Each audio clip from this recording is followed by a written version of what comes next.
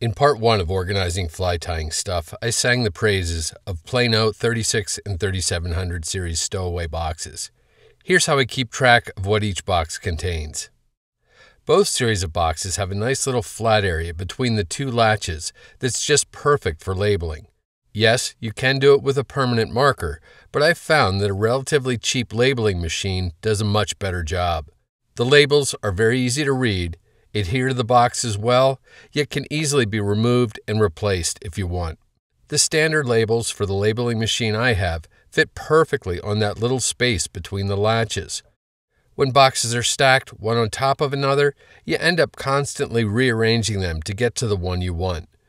To solve this, I've built several simple racks to allow me to remove individual boxes without stacking and restacking. I definitely need to build more.